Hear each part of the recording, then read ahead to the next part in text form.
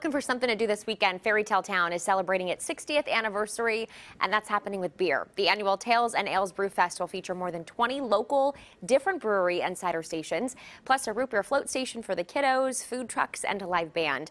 It's all for a good cause, raising money for that nonprofit in Land Park. The event kicks off on Saturday, runs from 5 p.m. to 9 p.m., and you can get your tickets online. Sounds like a lot of fun. Also happy